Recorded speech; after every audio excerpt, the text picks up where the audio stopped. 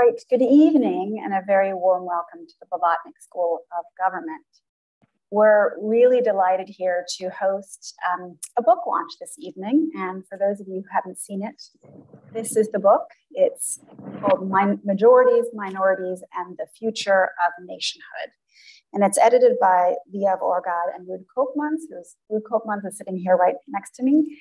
And um, as well as a couple of contributors, Eric Kaufmann, Yuli Tamir, and David Goodhart, who we hope is on his way, um, and, and uh, myself as well. So this book um, aims to make an intervention into a really important topic.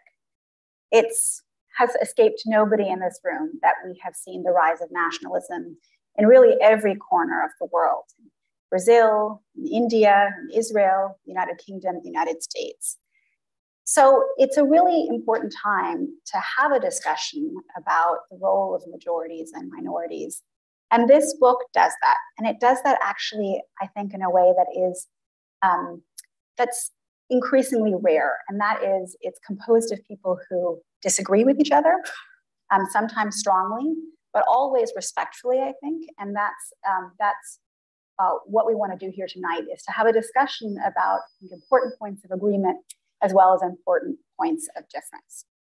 So the first thing I'm going to do is, is turn it over to Ruud, who's going to give us a quick summary of what the book says. And then we're going to have a general discussion. Uh, I'll pose some questions to, to the rest of the group, and then we'll, we'll turn to take your questions. So without any further ado, Ruud, floor is yours. Yeah, thank you, uh, Maya. So uh, I'll start with, uh, with a series uh, of questions which illustrate what, uh, what the book is about. So can schools in Berlin require German to be spoken in the schoolyard during breaks? And if so, on what grounds? Can social welfare payments for burqa wearers be reduced because they are unemployable, as was a court case in the Netherlands? Are burqa bans legitimate? And if so, in which context and on which grounds? And if not so, what makes the burqa then different from, uh, for instance, blackface traditions? Should linguistic minorities of immigrant origins, such as Turks in Germany, receive the same linguistic rights as national minorities, such as the Danes in Germany? This is a demand by Turkish uh, organizations in, uh, in Germany. Um, should religions of immigrant origin be treated on a par with native or indigenous uh, uh religions? Is preferential treatment for institutions such as the Church of England still something that can be maintained nowadays in liberal democracies.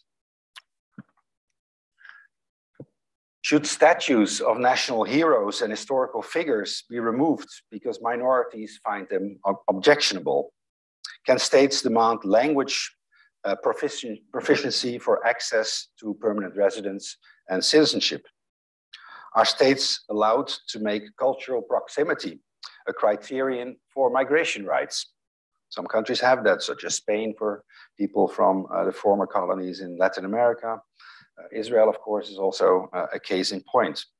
And even should Scotland or Catalonia be allowed to decide on independence by themselves? And if, if not so, why? Is that to protect, to protect minorities within these regions? Or is this a majority right of the United Kingdom or Spain. So Liav Orgad, uh, who I have to excuse today, uh, he tried to make it here, but uh, because he also had a presentation uh, this morning in Florence, he unfortunately missed the plane. so I'll try to uh, make up for that.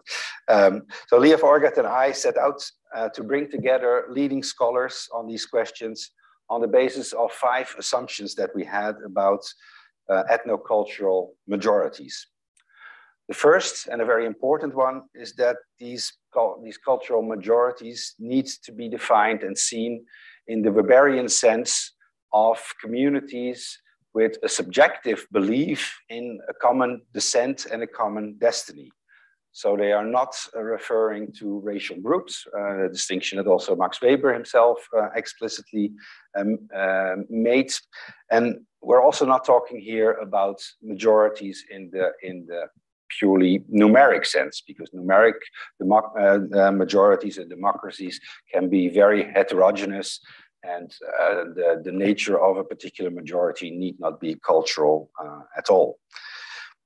Secondly, that cultural majorities are imbued, uh, imbued with the same fundamental rights uh, as cultural minorities are, and that they therefore have a need and the right to strive to maintain a coherent, intergeneral, intergenerationally transmitted societal culture, as Will Kymlicka, who is also one of the contributors to our book, um, has uh, formulated it. So the idea is that where there are rights for cultural minorities, there should logically uh, and also normatively also be rights for cultural majorities. Thirdly, that as a result of the post-World War II minority rights revolution, which of course had very good grounds in the oppression of minorities by majorities in the preceding uh, period, that as a result of this minority uh, revolution, nation states in at least in, uh, in uh, among Western liberal democracies, not uh, so much or not at all in the rest of the world, one should say, but at least in uh, Western liberal nation states, they have increasingly come to be defined in universalist terms. To define nation states in any other way than by reference to universal liberal values has become incre increasingly illegitimate. The terms British, Danish, or Dutch have come to mean only something formal, such as the people that reside in a certain place or the people that have uh, a certain nationality. They no longer refer, at least not in uh, legitimate uh, political discourse, to an ethnocultural group. And the, nation, uh, the notion of Dutchness or Danishness is defined in terms of diversity rather than unicity.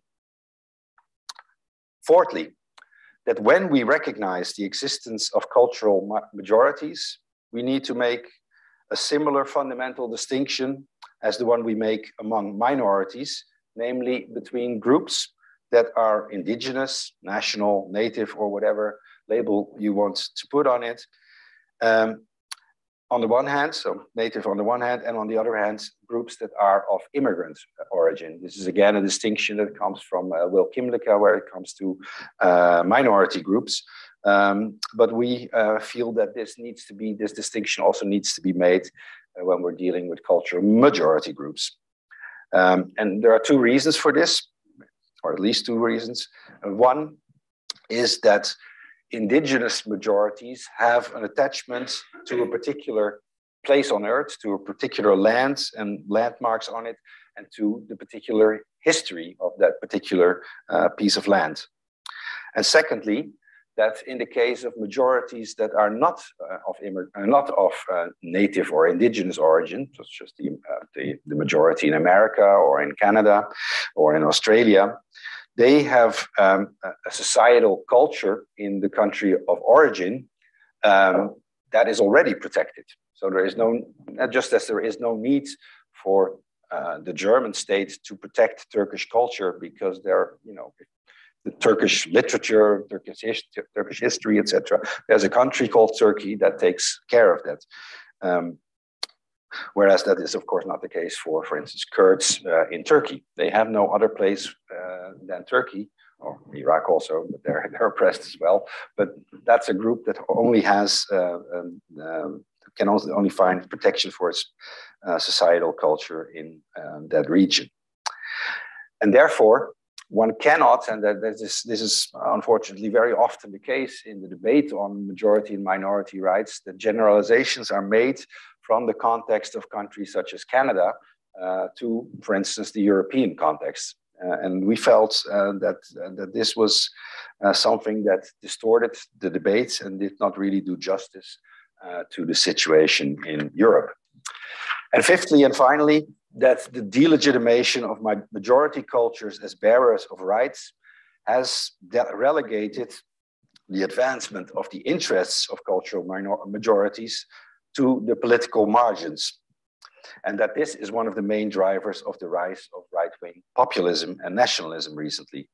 And as a result, majority nationalism has been resurging in recent years in liberal democracies worldwide in its ugly and intolerant forms. We believe, as editors of this volume, that the way to respond to this challenge is not to avoid the debate or to, to stigmatize claims for majority rights even more, but to develop an, an, an analytical and normative framework that allows us to define which type of minority rights and claims are normatively defendable, under which conditions, and which such claims need to be rejected and on which grounds they need to be rejected. Liav Orgad and I are extremely happy and proud that we have been able to bring together a world-class set uh, of scholars to reflect uh, on the issues of majorities, minorities, and the future of nationhood. And we are also proud, and Maya already referred to that, that the book is truly diverse in the range of opinions and perspectives that it offers on the topic, and that in spite of this great variance of opinions, and in spite of the intrinsic normativity of the topic, the debate in the book breeds an atmosphere of pluralistic to tolerance and a genuine interest in finding common ground. And I hope we can find that also today. So um, finally, uh, some words uh, of uh, thanks, of course, to the book contributors um, who have come here today. Um, then to um, John Haslam, um, our publisher, Robert Judkins, uh, who has been in charge uh, of the production of the book in um, the last year or so, and also the other marvelous staff at uh, Cambridge University Press. Then, of course, to the Blavatnik School of Government for hosting us today, and finally to Maya for organizing today's event. And with that, I pass the floor. And I should you. say one more thanks because this has been also sponsored not just by this by the Blavatnik School, but by the Alfred Landecker Foundation. So the first question, I'm going to start by posing it to Yuli, but then asking Eric and would you to come in on this issue is um, the question of what a majority actually is. So many of the contributions in the volume talk about majority rights versus minority rights. And they begin with the intervention that the core problem in a democracy has been the protection of minority rights because democracy can become quickly a tyranny of the majority. But that majority is defined in democratic terms, right? So it's, it's a numerical majority, it's majority in virtue of numbers. Um, and this book, I think, in many ways, there, where some of the, vol- the chapters speak past each other, it's about, it's on this definition of what is a majority and what rights are given to groups in virtue of me being a majority. So I wondered if you would say a little bit about what you think how, how, what is your definition of a majority? Um, and what's a specific example of a minority, of a majority right? Okay, thank you. And thank you, Ruud and Liav, for, for this is a continuation of a conversation we had in Berlin, what, three years ago? Yeah, 2019. Yep. So uh, it's actually an on, a work in progress, I think, and we're all uh, thinking about these issues. Um, and I think the biggest contribution of, uh, to begin with Liav and then Ruud's work about majorities is to uh, define the fragility of majorities. So it is true that majority is usually defined in numerical terms, but in nation states, majorities had um, seen as being able to protect their identity in a democratic way that is not questionable. So if you want everyone to speak your language or to preserve the culture or to celebrate uh, the historical narrative, that seemed to be an easy thing to do because you just bring it to public debate and win the debate.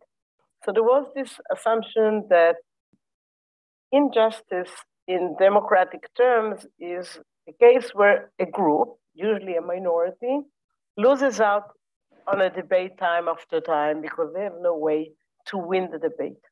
Now, the, the important debate about minority rights created situations that challenge this description. And I think this is where our common sort of uh, uh, questioning uh, emerged from if the majority right is restricted in order to respect the minority, what's the right balance?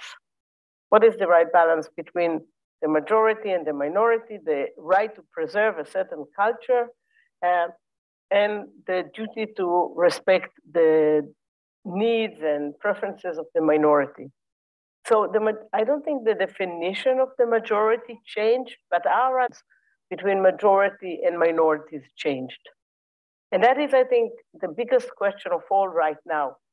Um, majorities in many parts of the world feel threatened. And since they feel threatened, they would like to have means to protect themselves. The interesting thing, and that I think is something to be considered, is that many of these fears are not present day fears, they are future oriented fears. And what are you allowed to do in order to present, to preserve a future state of affair is something that political theory didn't really reflect upon. So a lot of people are not actually worried about right now, but are worried about a slippery slope procedure where I'm here now, I let this happen, and then it all runs out of control. And the question is, when can you sort of, when do you have a right to stop this process in order to avoid uh, uh, processes of slippery slope uh, processes? So that's, I think, is the, and it's true in Israel, it's true. I, I just read that there was a, a, a recent survey in the United Kingdom, and it turned out that the Christians are now no longer a majority. So, should the Anglican Church be preserved as a state church? That, that's the kind. Now, people, you know, start asking themselves this question when they feel uh, that their situation as a majority is not absolutely sort of uh, certain for the future. So they start wondering about the future state of affair. And this is, I think, where the debate becomes really interesting. Eric. Yeah, um, thanks, thanks, Maya. By the way, uh, Ruud and Liav, what a, what a job in putting together this book, which is is really unique and distinct. I think in the, the, the breadth of the perspectives that it contains. Really, I haven't seen anything like it in political theory. Um, so, yeah, in terms of majorities, well, just some statistics to begin with, since I tend to do a lot of this. I mean, so 70% of the world's countries have an ethnic majority.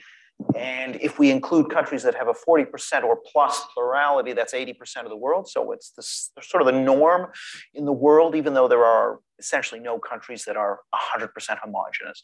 Um, so this is a kind of norm. Now, the question is only in certain parts of the world are we, are we seeing significant ethnic change? That's predominantly in the West. Not only, there are a few places like Ivory Coast and so forth, but um, so you know, the issue is what are we talking about with a majority? My uh, doctoral supervisor, Anthony D. Smith at the LSE, recently deceased or, or deceased uh, a few years ago, had this idea of concept of the ethnic core. These are communities of shared ancestry that give rise to the modern nation state. So you have an, an, a French ethnie. Now, granted, there are regional distinctions, and then a French nation state, which draws a lot of its symbolism from that ethnic core. But the core doesn't just disappear, it's still there. You still have an ethnic majority. Now, it may be assimilative, certainly is assimilative at the edges, but um, the question then is as that ethnic majority shrinks in societies that are undergoing ethnic change, if assimilation isn't rapid enough, uh, the question then becomes, you know, uh, what sort of rights does it have? And I think that's sort of what this book attempts to come to grips with. I mean, one of the points that I make in the in my chapter is that um, p- political theorists such as Kymlicka and Taylor, and the, a lot of the political theory that has come in the wake of, of Kymlicka's work and Taylor's work has gone with this assumption that because the national identity, the so-called societal culture, reflects the ethnic majority. So Christmas is a holiday uh, period, for example, uh, or, or Sunday as, as, as, a, as a day of rest or whatever. Um, because of that, Therefore, the ethnic majority is taken care of, and we can move on and just deal with minorities. I think the problem here is that, that the traditional political theory deals with culture in terms of holidays and in terms of practices, but it, what it doesn't deal with is identity in terms of uh, myths of ancestry. So the myths of ancestry of nation states in the West are polyglot, multicultural, polyglot myths, not the myths of ancestry of the ethnic majority. So the culture, yes, the culture is the official language of the ethnic majority, the holidays, etc., but the identity is not that of the ethnic majority. So the, the question then becomes, what do we do about the recognition of ethnic majorities as ethnic majorities? So Charles Taylor talks about the politics of recognition. That's recognition for minorities, but there's no actual recognition for ethnic majorities as ethnic majorities in this nation, which may bear the stamp of their culture, but doesn't bear their identity.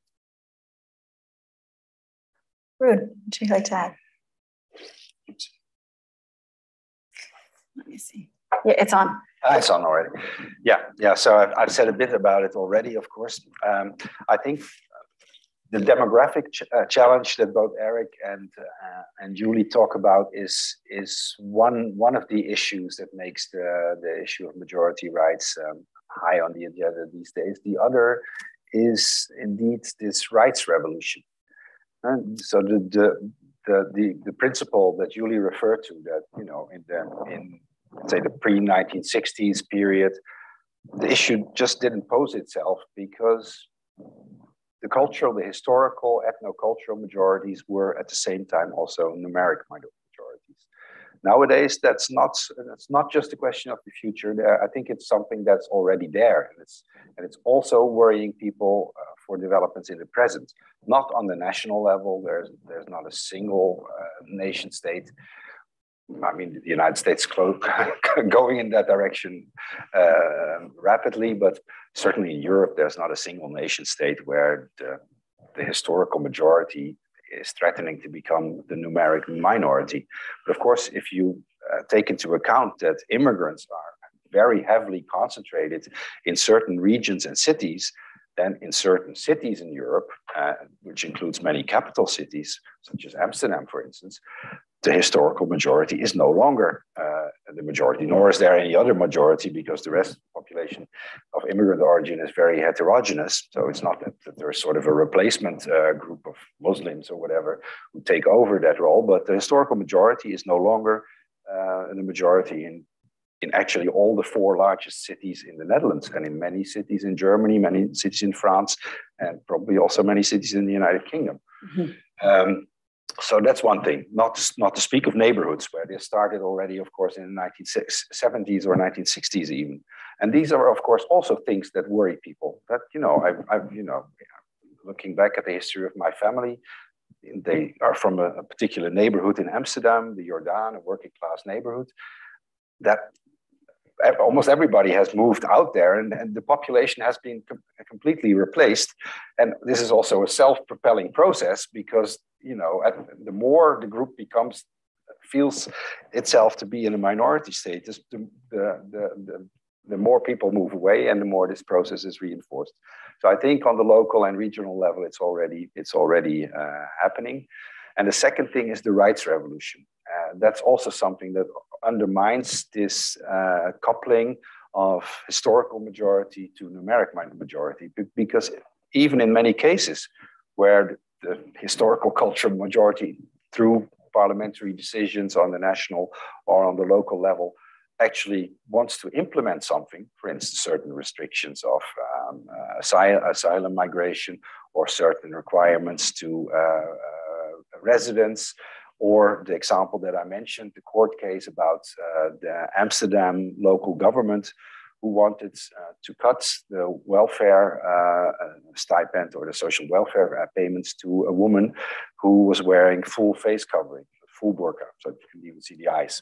So, you know, really uh, the Afghan way. Of course, no employer wanted to take hire that woman. and um, the and they wanted to. Uh, it was actually a, a Muslim uh, alderman who was uh, responsible for uh, social affairs, who's now the mayor of Rotterdam, Ahmed Aboutaleb. He uh, wanted to, wanted to cut uh, the social welfare payment for this woman, and there were a couple of others this Salafist community in Amsterdam. The woman went to court, and she won her case it was deemed to be discrimination, and, and the local government was forced to. Uh, of course, this was something that had widespread support. It had even had widespread support within the Muslim community in this case, uh, and still it didn't happen because um, um, um the the claimant in case could successfully appeal to courts, which referred to minority rights and which made this um, this huge majority decision undone. So I think that's the second challenge, the rights revolution, and indeed these demographic changes. And both of them, by the way, explain why this is concentrated in, in Western countries, um, because we are the we are the the the the, the, the targets of uh, the migration flows that lead to these demographic changes. Plus, we have demographic decline of our own populations. So these two also uh, combine together.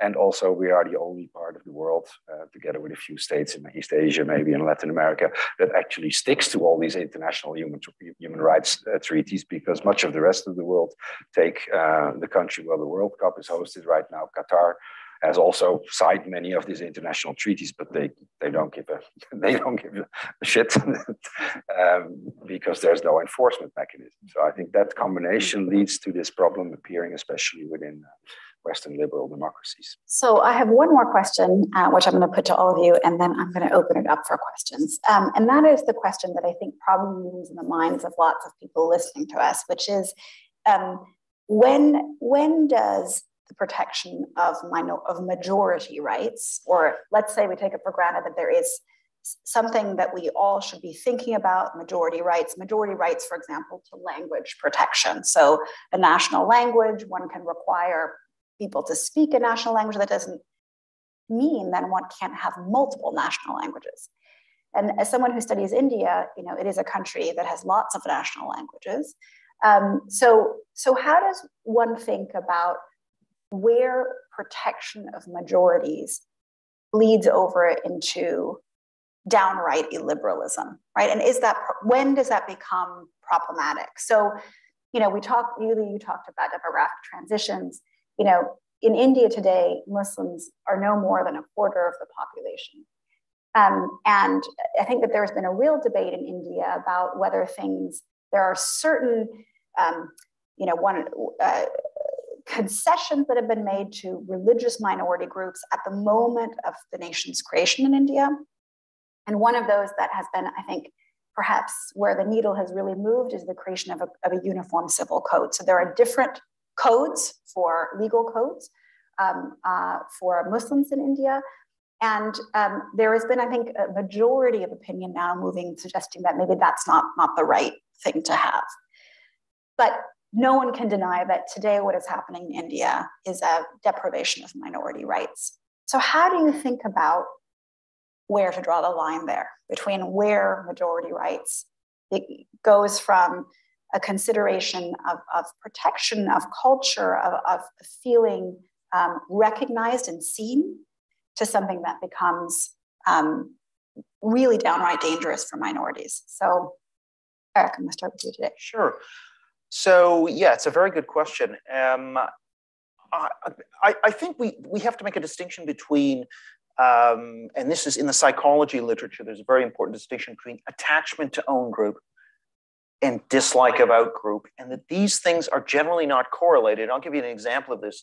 In the US, there's the American National Election Study, which is kind of the gold standard political science survey that asks people how they feel towards different groups and if you take a white American and you ask them how warm they are on a zero to 100 thermometer to white people, and then you ask them how warm or cool they are to black people and Hispanic people, whites who are warmer towards white people are actually slightly warmer towards black people and Hispanic people. So there isn't this zero sum. The way it's often portrayed is that these things are flip sides of the same coin. Now, on the other hand, people who are very warm towards the Republicans are very cool towards the Democrats and vice. So that's a zero sum relationship, but the racial one is not.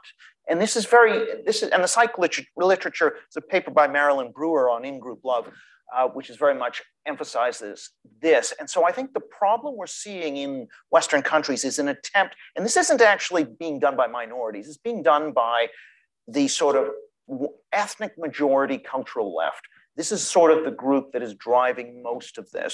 And what they are trying to do is delegitimate the ethnic majority identity. And so they're going after statues, they're going after history, Uh, they are not recognizing majority concerns or identities and stigmatizing those as racist. It's not minorities that are doing that, actually. Um, now, this I think is sort of a, a, the major axis of conflict. It's not really necessarily about recognizing whether minorities have the right to wear certain. I mean, of course, that's an issue, but I don't think that's the, the core issue. I think the core issue we see as the battle over, for example, the teaching of history in schools.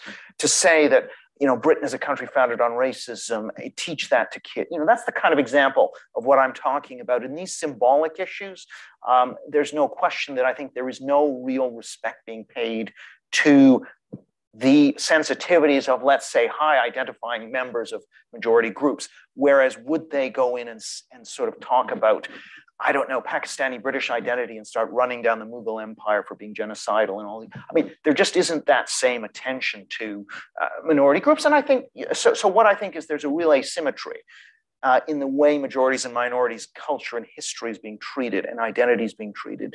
Uh, and I think that's one of the drivers behind the kind of polarization we see, as well as, of course, the immigration issue, which I think is also part of this, because it's, it's again a question of if you, there's no question majorities have more of an interest in, in slowing down the rate of change of immigration to allow for assimilation.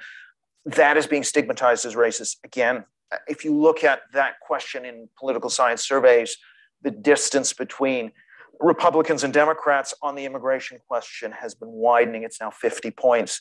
In Canada, the difference between conservative voters and liberal and new Democrat voters is over 50. You know, so in all these countries, this issue is really dividing that sort of progressive cultural left from the, the sort of more high identifying ethnic majority.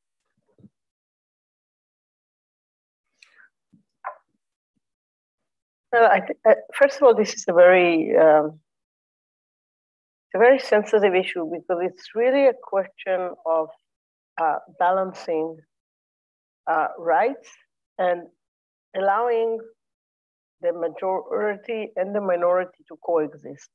So first of all, I don't think there is one formula. I mean, there's a theoretical formula that could be applied everywhere. We should just find it, you know, sketch it on the board and then implement it. Uh, I think that in question of majority and minority rights, um, the context is very important. And though it is a very imprecise, imprecise definition, I should say the minority should have enough of a space to survive with dignity in order for a, a solution to be a just one.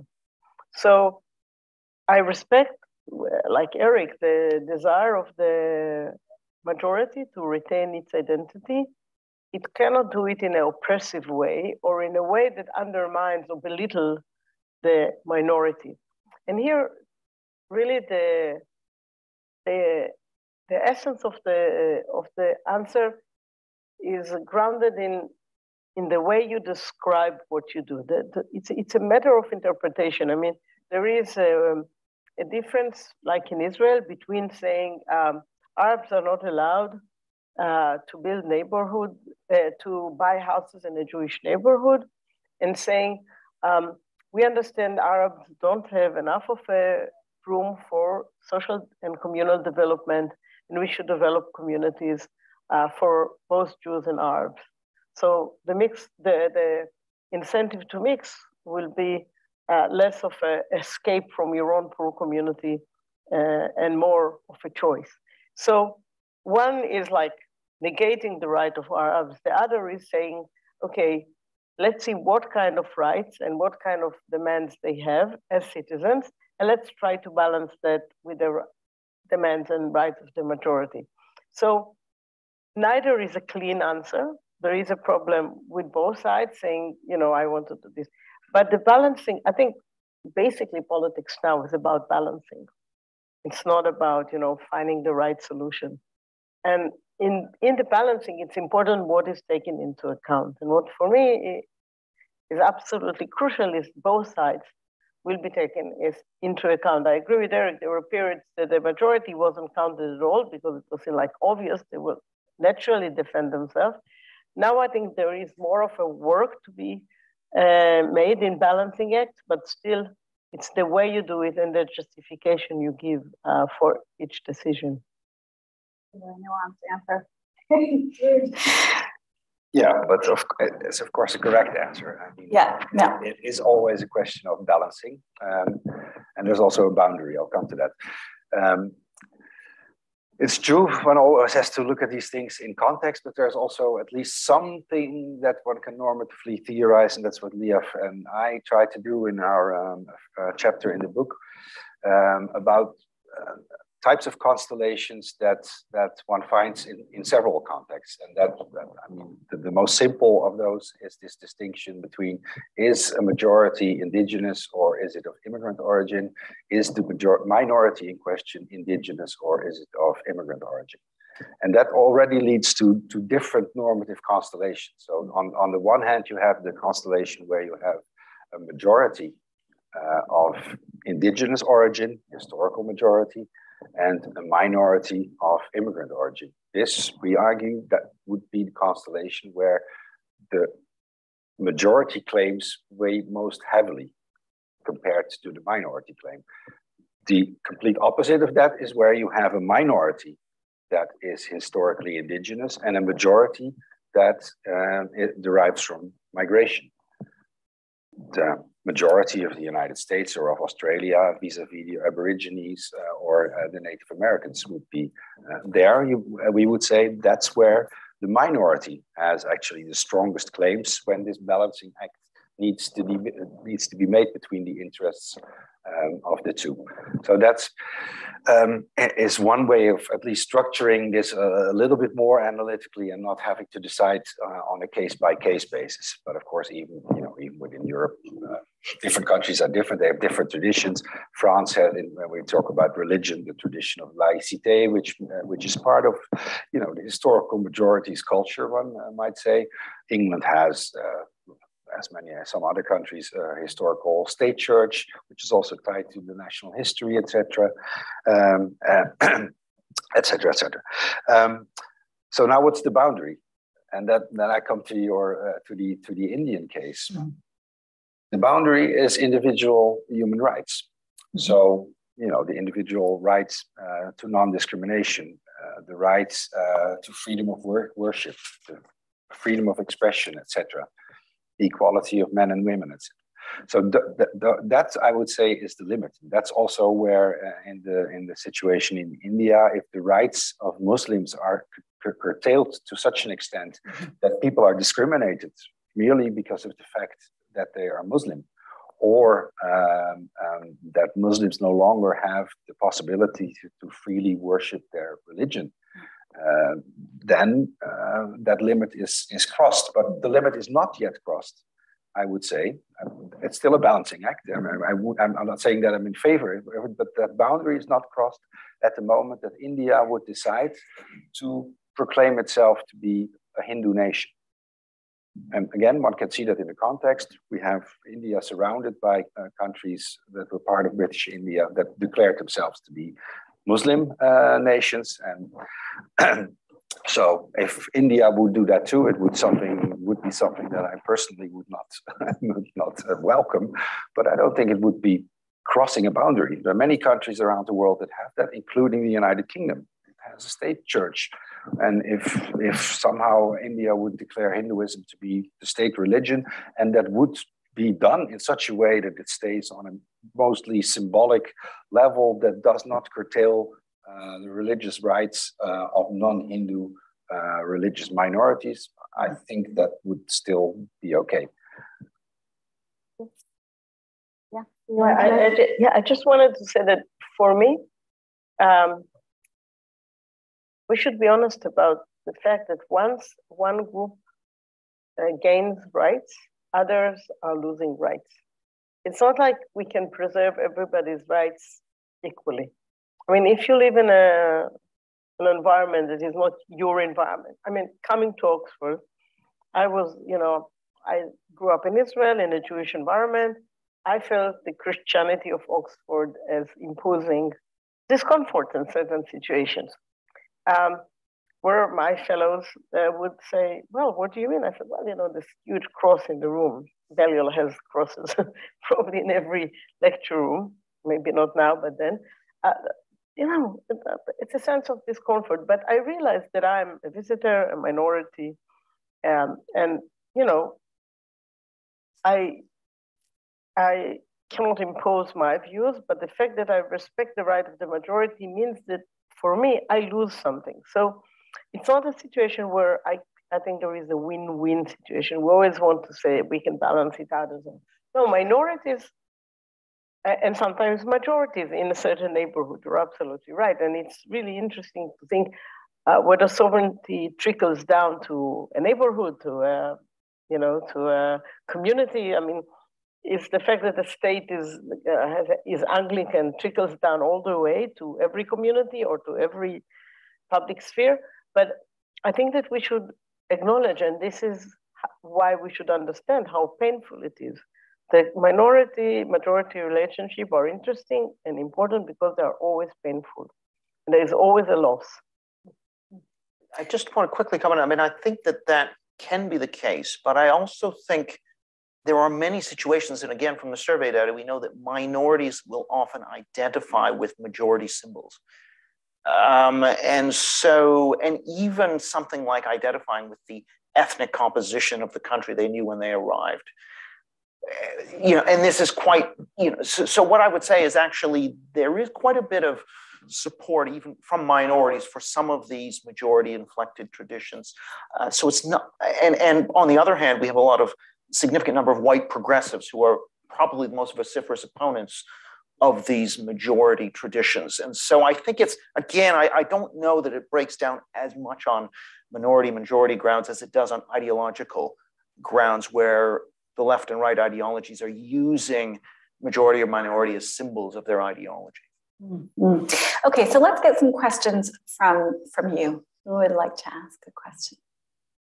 David, uh, I'm going to start with David, and then um, and then I'll come over here. Go ahead. Do we need a mic or no? We don't. I think we're okay. I'll repeat if, if raise your hand if you can't hear. But so, um, so I've been wrestling with the somebody who thinks themselves as a kind of liberal nationalist. I've been wrestling with the issue about how um, protection of uh, majority cultures can occur within liberal democratic states. I think the issue is somewhat different if you step outside the set of liberal democracies.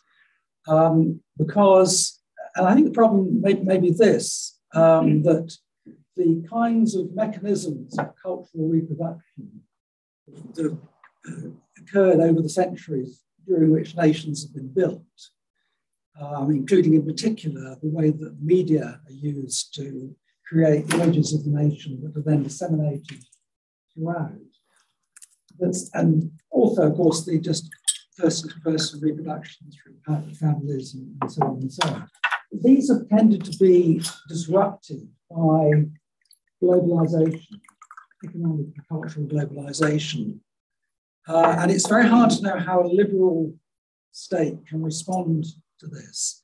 So I mean, just take one very one example, one rather appealing. Um, turns out that in Iceland, um, children's uh, like tablets and iPhones are programmed with English language software. Iceland is too small a country to have its own sort of software industry creating its own software.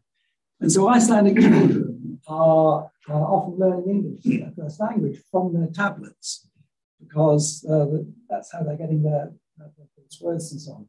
So that's a case where, and of course, language is hugely important to Icelandic identity, cultural identity. That's a case where um, the reproduction of majority cultures over time is being impacted negatively by global forces.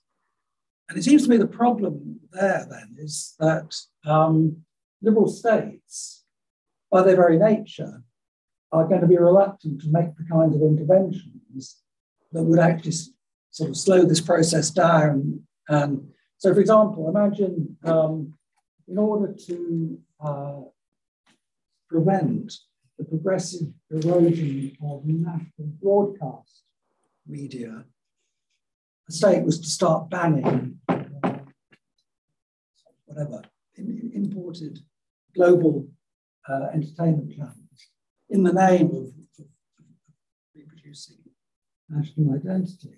you can imagine there would be of outrage response, but also it would be thought to be a kind of um, abandonment of,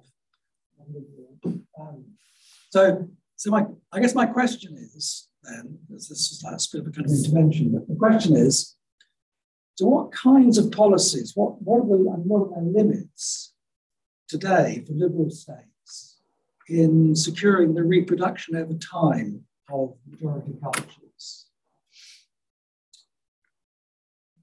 Uh, yeah, sure. I mean, I think it's a really interesting question, and I, I, I, guess my my first response is I I'm not sure the culture of many Western countries is so threatened in the sense that you know the language language is not necessarily the issue. I mean, these these generally the waves of immigrants come in, they settle, they learn language. It's, it's, it's fairly unproblematic in most cases. Um, uh, and even. Easy to save you from an English speaking country. Yeah, exactly.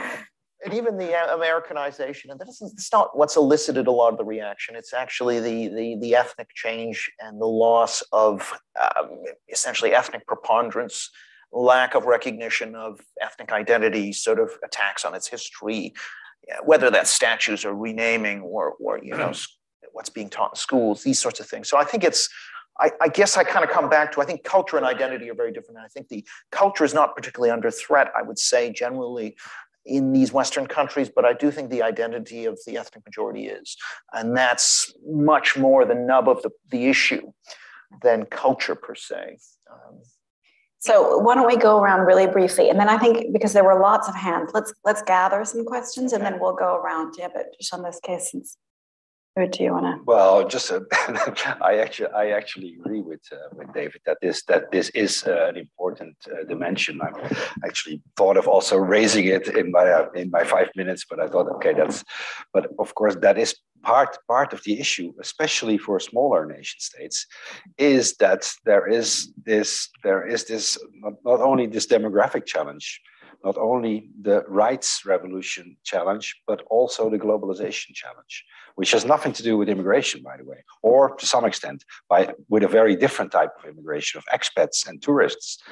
If you go um, in, in Amsterdam, for instance, in many shops uh, and bars in the in the center, you cannot order in Dutch anymore, and it's now happening in Berlin too. And that's that, and and that of course uh, also that makes sort of the um, um, sort of keeping the language intact and maintaining the language an issue that then is sort of resolved where it can be easy where it can be where it can be most easily resolved. And that's in relation to immigrants who may not even in this case not even be the the, the greatest threat but it's very difficult uh, to impose dutch uh, as a language on expat, expats because they wouldn't come anymore. So yeah, yeah, and, and Dutch universities also, right? Also, increasingly, yeah, the master's the, programs are totally increasingly, yeah, days, yeah. Which means that you know, uh, even cultural studies, history, uh, it's all Dutch language English. departments are closing down. Yeah. There are no students anymore, so that is a problem for rep- reproduction of culture. Um, well, Liav and I had a, an idea to write this paper, which we didn't, uh, called "Killing Them Softly." And thinking about tools that kills nations softly, like you know allowing people to immigrate, uh, producing products in an, another language, um, and English, and um, you know the media temptation and the market are strong forces that allow more opportunities in a in a different environment than your own, than your sort of national environment. And here I think the biggest question is really, and this is really a big question liberals, I think, um, are two-minded about, is um, whether we should refrain from paternalism and allow people to make their choices. Okay, I want to teach my children English because I think the global market is uh, then open to them and then they have more opportunities and, you know, I'm ready to do that. They are ready to do that or as much choice as children have.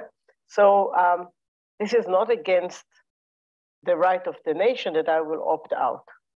And there's a lot of opting out now, or a lot of mixture of people moving from one place to another and adopting a new vari- variation of their nationalism or actually just living because of all sorts of reasons. Um, and this is the this is our these are the boundaries of my own nationalism. I think that if nations want to give up, uh, give up their language, give up their rights, uh, open up, change their identity, and so on, they have the right to do it. Nationalism cannot be identified with stagnation and conservatism because na- healthy nations develop and they always change. Not, no one is identical to what they have been a while ago. And if this change leads, sort of, is a leeway out of your own nationalism into something else, I think it is would be very dangerous to say to people, no, you can't make this choice. You can't you can't force the choice, but you can't also, but you cannot force not to make the choice to opt out. And this the right to exit here is very important. That nationalism um, will remain a liberal force, and that actually makes it puts a lot of burden on people who want to preserve the nation to work hard to make it worthwhile for people to remain members. Um, that's not an if you force them, it's the easy choice. If you work hard to make it uh, valuable, that's the hard choice, but also the more uh, valuable one for me. I think, I think one of the thing, interesting things here is that um, it's tempting to think that, that that is a that having a state make a paternalistic entry point into the nature of Netflix provision, that that's paternalism. But, but of course, you're already on the slippery slope because you decide what language to teach in state schools, you decide what history to tell in state schools. And if you don't tell a history and have a common set of languages at least to, to share, then, um, then the very idea of nationhood um, begins to erode, right? So, okay, there were some questions here. So let me let me put like a few together. There's, there's a danger, I think, in treating minorities as static and as monolithic. Um, 20 years ago, there was a very live controversy in Birmingham where a play was supposed to be put on, which was about violence within a Sikh home. And there was a lot of noise about attacks on, there were some attacks actually on, on the theatre um, and threats to, to, to widen that. And the chief constable took the decision essentially to say to the, the people running the theatre, don't put it on. We can't provide you protection. He, I actually talked to him about, about this at the time. Um, he took this decision after consulting what were seen to be the leaders of that community. Only it turns out that was actually not at all a representative voice, in particular the younger generation, a lot of the women were very much against that view. Now, I bet if we go back 20 years now, it would be different because there's been a generational change. And I suspect that one of the problems, putting it the way some of you have, is that the majority minority distinction is frozen in time. And it's not allowing for evolution. And particularly, and this point has come up a bit, your story about the, uh, the Muslim mayor who was trying to stop the woman wearing the hijab. Um, it, you get breaks within the uh, minority community itself, both generational and I suspect class. So I think we've got to see this much more complex than, which leads me on to the question I wanted to put to you, which is a lot of these things don't stay at the level of political theory. In fact, they really get interesting when they become legal. I'm a lawyer, so I say this, but they become legal cases, a lot of which have ended up in the European Court of Human Rights and in the national courts in a, number of countries, this, um, this country particularly, but also I think in France. Does it help or does it make it worse when these issues are translated into questions of legal principle as opposed to political accommodation? I'm very curious what your views are. Before anyone answers, let me take a few more questions. Joe. Joe. sorry, a comment rather than a question, I guess. But uh, you know. So um, as you were all talking, I realize there are a number of different things that can be meant by majority rights, and they're not the same thing. the rights of majority. So, so one is um, the rights of those people who happen to be in the majority. The second is the right to be a majority. And the third is the type of the privilege of uh, what Eric called the ethnic core. And it seems to me these are the, the first question is a perfectly legitimate question to raise, whatever your political view is. what are the rights of the people who happen to be in the majority? Are they being neglected? But the idea that there is a right for the majority to remain the majority is a separate question. And whether those who are in the majority should have some type of privilege over those who are not in the majority is yet another question. And it, it just seems to me we have to keep these apart because there's a danger in both directions of, of collapsing. Yeah, all right. Helpful intervention. Um, Ralph. I hadn't really thought so much of this majority minority question in terms of, or indeed of populism in terms of culture so much. I mean, I hear a lot of culture, symbolism, attachment, and so on. And what if we were to take a slightly different view? Populism has also been explained as welfare chauvinism. So, to what extent is this a question not of culture so much, but of politics? And if you take a kind of political road, then you could say things like welfare rights kind of come down to who has the right to receive pensions or money for schooling and and and. Or you could say political rights dissolve into things like how many skills do you bring and on what basis are you granted citizenship? So these are political rights. And if we could diffuse it into those kinds of very concrete rights, you know, would these issues of culture, plural, secular state go away? Now, the only final point is that the only place that I've heard so far where it wouldn't go away is this burqa wearing person. But of course, that would also go away if you translated it into, you know, what kind of jobs could and should that person be allowed to have and under what circumstances is it discrimination to either prevent having a job or to prevent welfare But again, that seems to me to be a way of diffusing the issue and, and by not talking about culture so much as politics. Okay, I'll take one more question and then we'll come back to the panel. Yes. The thing that worries me is authoritarian countries where the um, of, of a very stable majority sees fairly small minorities as a threat and seems sort of frightened of them. And I mean, I, have to think of Turkey and China really. Um, but uh, can you defuse those um, feelings? Can, can you, is, how do you check that? Two, two questions about thinking about politics. One about the, the whether it helps or hurts that you move into the legal sphere, like when you move from politics into the legal sphere, how you think this last question about, um, I think this was a, another version of the India question, right? Think about countries that are authoritarian or either moving in the authoritarian direction where um, they feel threatened by quite small majorities, um, and a question of whether we can't just all reframe this in terms of welfare rights. So Yuli, let me start with you. You can take, take uh, what you'd like. I'll just start with the last question because I think David's uh, paper about the uh, minarets in Switzerland shows that uh, fears uh, of a non-existing threat, like Muslim taking over uh, the Swiss, uh, and the, the, yeah, the, the, the, the Swiss landscape um, happens not only in authoritarian countries. It, it is actually widespread in many, many places. Um, so um, it is, I think, one of the things that thinking about nationalism leads to is to uh, tie more strongly political theory to psychology.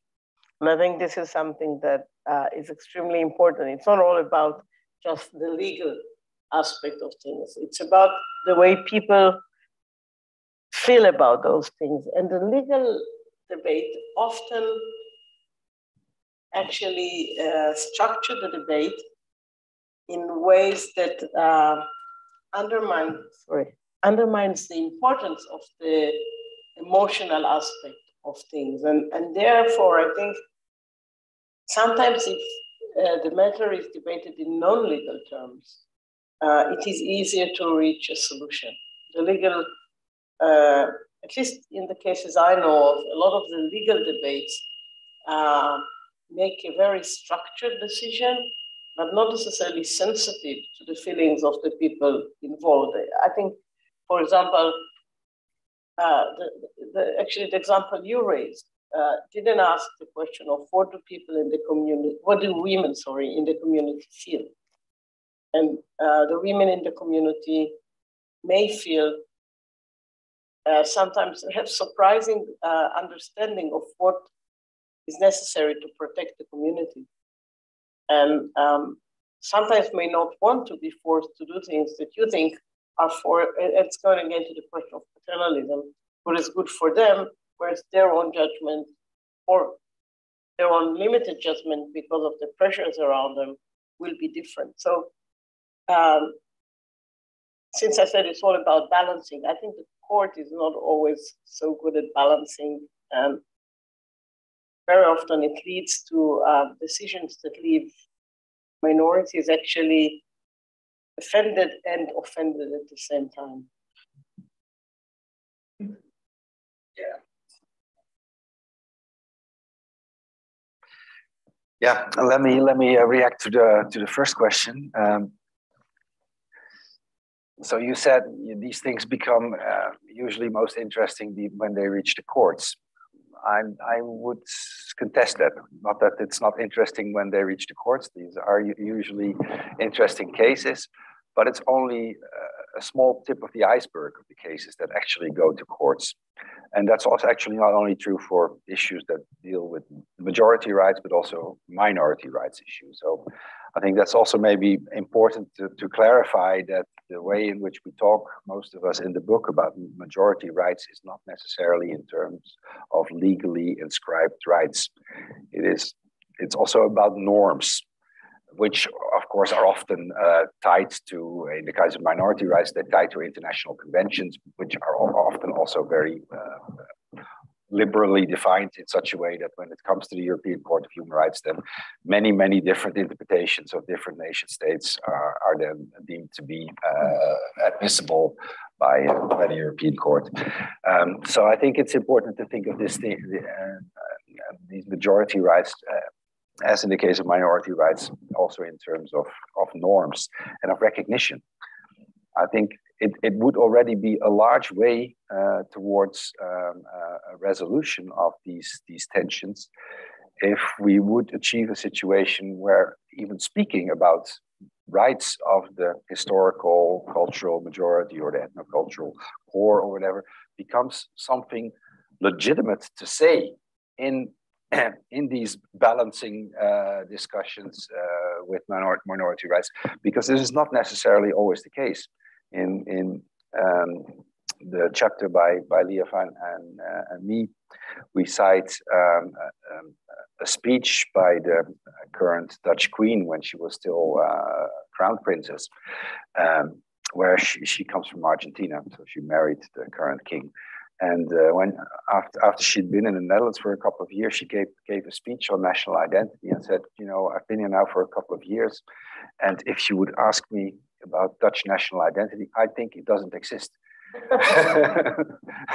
and and and and that is that that is something said by a member but a, a, member of the highest part of the elite but it's something that is in in sort of intellectual circles very common to say dutch national identity doesn't exist.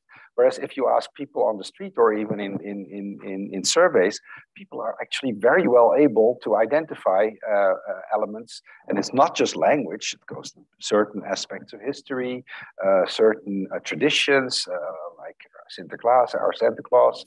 Um, so people are the large majorities mention in an open in an open question. Eh? They mention them as aspects of national culture. So if you already have the recognition that there is such uh, a thing uh, as Dutch or Danish culture, and that the Danes and the Dutch actually exist as an as an ethno ethnocultural group, and that we need to balance the, the legitimate claims slash rights of that of that group with the claims of immigrant groups, and that is not just uh, a majority group group that is obliged obliged only to embrace diversity and forget about itself. I think then we're already a long way uh, to a resolution, and we're also already a long way, I think, then in undermining the discourse of the populist right, because currently they have the monopoly on saying yes, there is such a thing as the Danes and the Dutch. Yeah, no, I, I think I would largely essentially agree with Ruud's point that I think this is largely normative rather than legal. I think the legal part, and even I would say the rights part, I think this is much more about you know the ability to make political claims and to have those accommodated and adjudicated. Um,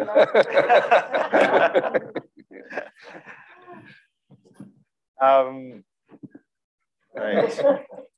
So yeah, so for example, I think a lot of what's a lot of what's going on now revolves around the uh, what the psychologist Nick Haslam calls the concept creep of terms such as prejudice, trauma, etc. So, for example, especially the term racism, it has been an ideological project of the cultural left to expand the meaning of the term racism, to take more and more debates off the table, to make it sort of not possible to talk about reducing immigration levels, to make it impossible to talk about ethnic majority identities, to make it impossible, you know, and, and to start to try and essentially problematize any aspect of national history that can be associated with the ethnic majority. So um, I think that's the main thrust. Again, I say I don't think it's coming from minorities. It's coming from the cultural left, which has gained power substantially since the mid 1960s, has attempted to expand this notion of racism and trauma outward. So, for for example, even saying um, anybody can make it in America is now seen to be a quote unquote microaggression that is going to impact on historically marginalized groups. So always pushing for more and more and more fine grained sensitivities, which has the effect of, of course, shutting down and erasing the possibility for ethnic majorities to have their identity and to express their uh, political desires. So it might be for re- reduction in immigration. So this is not really about rights so much as the normative ability to make political claims, to espouse identities. I think that is really where the battleground is, not as much over rights, even though I accept that certain things like minarets and burqas and so on, but I don't think that is the main thrust of what's going on and what's driving the polarized climate. So we, um, we're, we're technically supposed to stop, but because we have welcomed David um, um, just now, I, am going to suggest that if you need to go, you can go. We, obviously, we're, we're, um, we'll, we'll go until, until six. So are there, are there more questions that we have out there? People? Yes. Um, so let me take you first and then we'll come here. Yes, please. Yeah. So the entire time we've been talking about majorities and minorities, and what been, I don't think we've considered the idea that how how majorities and minorities view each other, because very often I think you mentioned that, um, for example, whites who have strong feelings with whites as well have strong feelings with other other ethnicities as well, and I think it's because perhaps a lot of these issues arise only when majorities minorities see each other as locked in a sort of zero sum game. And uh, Switzerland works, for example, because even though there's a majority and minority, the ethnic groups can work with each other. There's not that much antagonism within themselves. And only when there's an inherent antagonism between majorities and minorities do these problems arise. And it's not possible to work them out by consensus or by discussion. And this becomes a sort of violent clash often. Um, some of this has been covered, but I, I, I wanted to ask how much this is a battle of power and, resources, which is a little bit to the point about welfarism, which I don't think you you you answered fully. Um, I, I, can remember when I was a student of um, democracy, they used to say that the true test of a democratic nation was how well they treated minorities. And I, I think that your book is incredibly timely and, and very helpful because you unpack that and, and complicate it in, in, in the best traditions. Um, so I'm just wondering whether this is um, a, a, battle about resources, but using using some of the cultural features as as symbols. Um, almost reminds me of the battle that must have happened when the Reformation occurred in Europe. You know, of course, that was a battle of ideas, but it was also a battle about the rise of the gentry, kind of taking, and, and it's a new kind of outsider group with migrants in it. But some migrants are incredibly successful, and other migrants are incredibly unsuccessful. I mean, they're, they're both both extremes. And I, there's another complicating factor for me. I mean, I'm a I'm born in Britain, but I'm a kind of uh, I'm a kind of first generation migrant. I happen to be born in Britain, but I actually lived out of Britain for ages and then came back. And my sense of belonging to Britain is quite strong. And so, although I want to protest at all kinds of wrongs, I don't want to have the collateral damage to British institutions and what I what I regard as as as as um, profound and, and progressive values in Britain. And the word progressive, I mean, it's been thrown around, and and in, it, it's not clear who is progressive and who's not progressive in this. I think Eric would probably agree with that, if I can say say that. So there's a lot going on. So second generation migrants will have a different perspective, and the third generation may just feel that they, because they've been treated badly, and migrants are often treated badly for all the reasons that we understand, they just have the right to protest. And, and if they knock important symbols which are, in a David Miller sort of sense, you know, societally useful, that's just bad luck. Um, so I'm going to turn to David because um, you're you've joined us and you have a chance to intervene. So there there are two questions at the table. One about whether we're seeing some of these um, debates really through zero sum lenses when when they're not. When most of the most of the debates and discussion we've picked up on that earlier, but might be helpful to hear your word about about it. And and this question, which in a in a had all kinds of complexities, but in a abbreviated version is is are, are we really talking about majority minority or are we talking about struggles over power yeah um, yeah sorry mate. i made a mistake driving um, um, i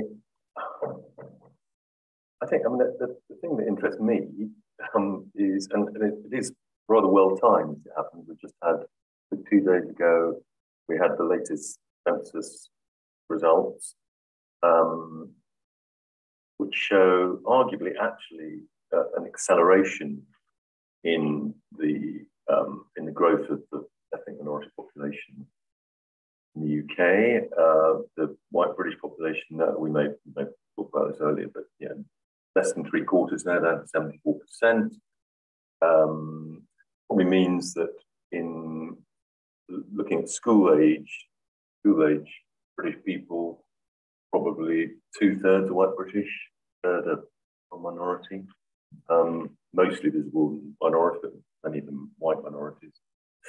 Um, so it's, and you had, um, um, you know, Nigel Farage tweeting about the growth of, uh, of more majority minority towns.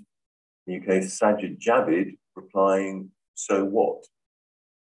Abbott, Leicester, Bradford, Luton, Birmingham, uh, now majority minority. I mean, I think um, uh, as it happened, I think Nigel Farage got his numbers slightly mixed up um, in what he was talking about. But I think for Sajid Javid to say "so what" um, is extraordinarily complacent, really.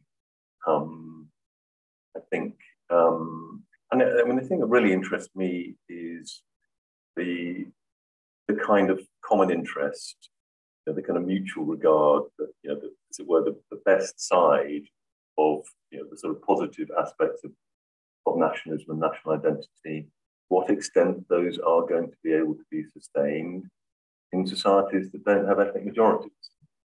I mean, there are lots of examples in history where I guess it, um, there has there have been you know, lots of countries which haven't really had ethnic majorities, um, but there haven't ever been, probably true to say, there haven't been countries in which um, which have kind of gone through the kind of industrialization, the getting rich process, that have welfare states, that have you know rule of law, you know the kind of modern rich liberal democracies. Um, have pretty much all been countries with ethnic majorities. And, uh, you know, how can you sustain the common interest that you require to, um, and I mean, you know, we've got this wonderful living example, living laboratory of, sort of Sweden and Denmark, you know, when it comes to the, the kind of solid, solidarity, diversity, tension. Uh, you know, both of them starting in more or less the same place in the, in the early 90s, very homogeneous, very egalitarian Scandinavian countries, uh, already experiencing a fair amount of, of um, immigration then. Um, and I mean, through the 90s, I think the Danes became kind of more and more um, hostile to it and have ended up with a, very integrationist, uh, a, a, very restrictive immigration, very, uh, very integrationist policy. The Swedes, on the other hand, as we all know, went for a much more open uh, immigration policy and a much more kind of separatist multiculturalism. multiculturalism. Course, they're now doing a handbrake turn on that, and they're going to trying to go Danish. You know, right. 25 years too late, possibly. um, but um, and I think it is interesting. You know, you look at unemployment benefit in Sweden. Used to be one of the most generous in Europe, now one of the least generous in Europe. Now there are other reasons for that to do with kind of the mm. things that happen with Swedish corporatism. Um, it's not entirely to do with that, but that you know, whether um, you know whether this shift um, towards I mean what you know the white British will be a minority what by 2070. Uh, so I mean it's a, none of us are going to be around, but you know we, you know how is that going to affect sense of national solidarity, and part of the same story, and all the things that do kind of underpin um, you know welfare yeah. states. Not just a sense of solidarity, as you're pointing out, the, the kind of institutionalized benefits of, of a welfare state mm. that, that that have been built upon that solidarity that has solidarity is channel. So yeah. Um, so we're coming close to time, so I want to give everyone else a final word. I'm sorry, David, that you're trying yeah, to late. Yes. um, uh, Yuli, either these questions or you know, or or a closing words. Well, it is about power and it is about distribution. I think also David uh, mentioned it. I, I have this uh, feeling that we are really coming to the point where we have to think our rethink our political theory our theory of democracy, Part partly because things David said and things we have said here before. We had some presumptions about how political life was going to work. And I think the biggest shock we have, not only in terms of uh, nationalism, is uh, that uh, this assumption that things will just proceed the way they were is now being refuted. And the world is not going to be similar to what we have anticipated. And that creates a lot of insecurity. Insecurity breeds a lot of, you know, fear and threat and so on. But it also demands that I think we'll think a little bit ahead of time. Our democracy was built in terms of um, in, in, in, as an attempt to answer questions that are maybe less relevant and do not answer questions that are becoming more relevant. So it's a bad time for the world and a great time for theory. Eric, let me turn to you next so I can give Rudis, our editor, fearless editor, the final word. Yeah, yeah, no, just just very quickly on the on the material side. I don't think this is predominantly a materialist issue. I, I think a great survey question is: Do you think uh, pressure on public services is a big issue on a zero to one hundred? And in Britain, it's about a fifty all you have to do is drop two words immigrants putting pressure on public services it goes up to 70 which doesn't make any sense from the size of the problem must be that's caused by immigrants must be smaller than the total pro- so i mean I, I, so what i think is is and, and again all the survey uh, evidence would show that it's predominantly about identity psychology and culture and not uh, material factors the, the last thing i'd say is just in terms of looking ahead you know, there are a number of, of countries that don't have ethnic majorities. And if we're thinking about places like Guyana and Belize and, and a number of these societies, they'll, it seems that you'll either get politics coming along ethnic lines. And in this country, Northern Ireland is the place that doesn't have the ordinary left right politics. It's got more ethnic politics because of its ethnic configuration, I would argue. Um, or what seems to be occurring in Western countries, again, I think, is this extreme cultural ideological polarization in which it's not about minority versus majority, but it is about attitudes towards race as the dividing line. So views on is the US a racist country, support for Black Lives Matter, and all these sorts of things, these sort of racially tinged, but not actual racial issues. And I think I would predict a sort of rising polarization along these sorts of ideological fronts as the societies get more diverse. Ruud, okay. the last word. yeah, final word. I mean, uh, thanks everybody for for interesting questions. Um, I do want to uh, react also to the, the question about power because I think it's a very important one and it's it connects this book some other books uh, like books written by David, for instance, uh, but also a book uh, that I did with some um, Berlin colleagues, uh, which appeared also with uh, Cambridge University Press in 2019. It's called The Struggle Over Borders, and it deals with, with immigration, uh, um, liberalization of markets or neoliberalism and Europeanization or the or supranationalization more in general as two as three uh, components of the emergence of a new political cleavage between what we call cosmopolitans and communitarians or you call the somewheres and the anywheres i think. Um, and uh, and that also plays a role in this majority minority uh, uh, uh, discussion. It is not uh, it is about power but it's not um, necessarily and in the first place also it's also about that but not i don't think even in the first place about uh, cultural mi- majority uh, using symbolic issues to maintain its dominance over minorities. It is also a cleavage within the majority. That's what you refer to also. You, you say you label it in terms of cultural left. I think it is much broader than that. Uh, it is it is um, um, about neoliberal elites also. And much of much of these policies are also pushed by uh, by big firms, for instance, by international corporations, by uh, Silicon Valley, uh, etc. So it's not just the cultural left; it is highly educated people more generally. Again, a book by uh, David uh, recently. Um, it is center versus periphery. Uh, it is middle class versus lower class because these the, the, claims for maintenance of majority rights they come most strongly not from the big cities. They come from the periphery. They come most strongly not from the middle classes. You know, the the carrier of nationalism in the 19th century. No, it is it is lower classes and lower middle classes, often in the periphery indeed. Uh, and, and on the other side, we find representatives of the highly educated intellectual classes in alliance with, with international uh, business, and often in, in, alliance that relates to the earlier question of the gentleman who left about the Sikh community.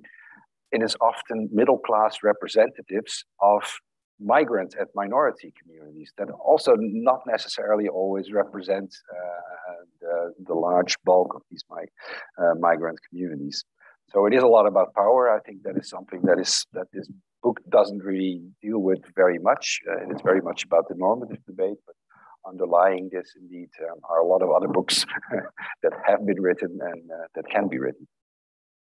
Okay, so um, let me just draw it to a close by, by thanking Ruud and Liav and Absentia for bringing us together for, I think, a really interesting um, and important conversation this conversation is not going to stop here today. It's going to be a part of our future for, for quite a while to come. To all of you for coming, but most of all to you for, for uh, coming and asking interesting questions. So just join me in thanking the panel.